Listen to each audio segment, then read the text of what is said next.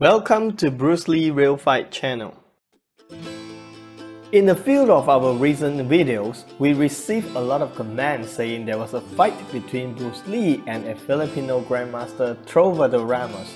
Some people leave the comments saying Trovador Ramos was the only Filipino Grandmaster who defeated Bruce Lee in a real fight.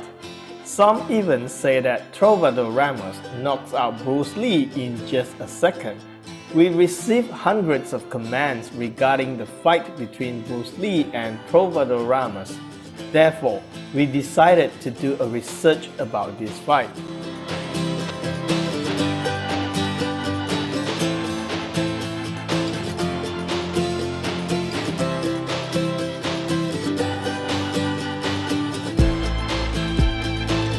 So, who is Trovador Ramos?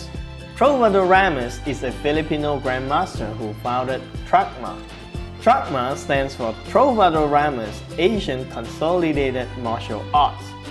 Trovador Ramos was a tough man. Some people said he could crush a bamboo rod with a grip and breaks granite stones with his bare hands.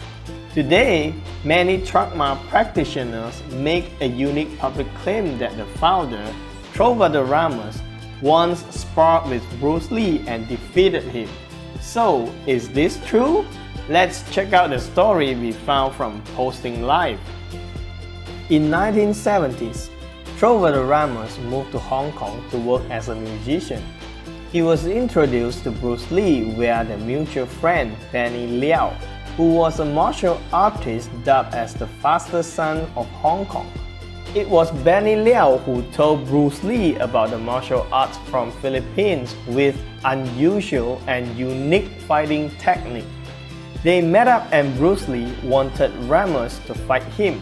However, Ramos declined it because he said he had so much respect for Bruce Lee that fighting him would mean disrespect him. The following day, Bruce Lee and Ramos met up again at a private fighting arena at Diamond Hill owned by the Golden Harvest production. This time, Ramos accepted the fight and both of them stood face to face. Hundreds of people were there watching the fight. The crowd was cheering for both of them. According to Posting Live, Trovador Ramos said, He was fast, but I employed my music using offbeat and downbeat moves. I used rhythm and lots of imagination. I anticipated his moves and I was able to overcome him. Alright, alright, alright. We know that many Bruce Lee's fans must be anchored by reading the story. So, here is the analysis of the fight. First, Bruce Lee will never challenge anyone openly. According to the story, it is said that the fight between Bruce Lee and Ramos held at a private fighting arena at Diamond Hill with hundreds of people watching it. Bruce Lee was the one who challenged Trovador Ramos. In fact, Bruce Lee will never challenge anyone to a real fight with so many people watching because he doesn't want to humiliate anyone. In the early 1970s, Bruce Lee already gained his fame via The Big Boss, Fist of Fury, Way of Dragon. Therefore, this story sounds ridiculous. Do you agree with this? Second, there is not even one witness telling the story to the media. According to the story, the fight was witnessed by hundreds of people, but no one has ever told this story, including Trovador Ramos himself. Nobody from the arena come forward. Ramos said in an interview that he met Bruce Lee in the early 1970s, but he never said he fought Bruce Lee and defeated him. In fact, there's only one photo where Ramos sit with Bruce Lee for dinner in the 1970s. For other stories in this channel, they are backed by popular people such as Sammo Hung, Jim Kelly, Bolo Yeung, Joe Lewis, and many more. However, for this story, no one is backing it up.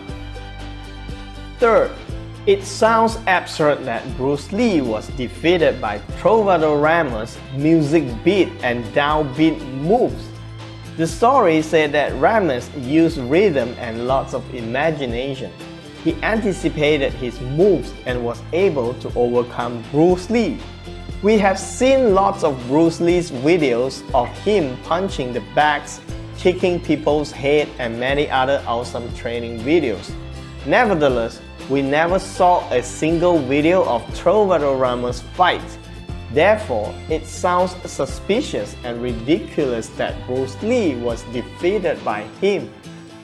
Fourth, the fight between Trovador Ramos and Bruce Lee is suspicious.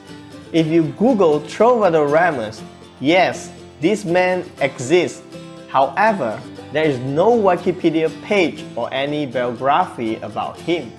Most of the results shown in Google is about the fight between him and Bruce Lee. There are a few websites claiming this Hong Kong-based Filipino Grandmaster rejected Bruce Lee to star in Enter the Dragon because he doesn't want to lose a fight and die in the film.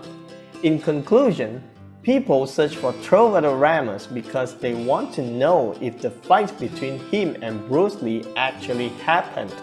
Do you think so? Fifth, the only Filipino to be credited to teach Bruce Lee's Jeet Kune Do is Master Dan Inosanto. Dan Inosanto is the one and only one Filipino who introduced the Filipino martial arts to Bruce Lee.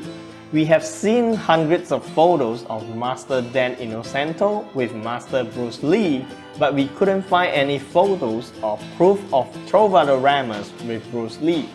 A big apology to all TRACMA practitioners, but we really couldn't find any proof.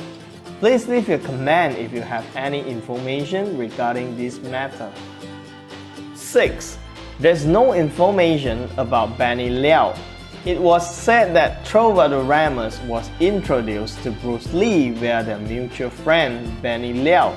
However, we have searched the database in Hong Kong and did not find any person named Benny Liao who was a martial artist. Obviously, this information is not reliable. Do you have any information about Benny Liao? If so, please leave your comment. So, what do you think about the fight between Bruce Lee and Trovador Ramos? Do you think the fight was real? Do you think it happened? If so, who do you think wins the fight? Please leave your comment below, we would like to hear from you. If you love our videos, please like, share, subscribe and ring the notification bell. Thank you for watching.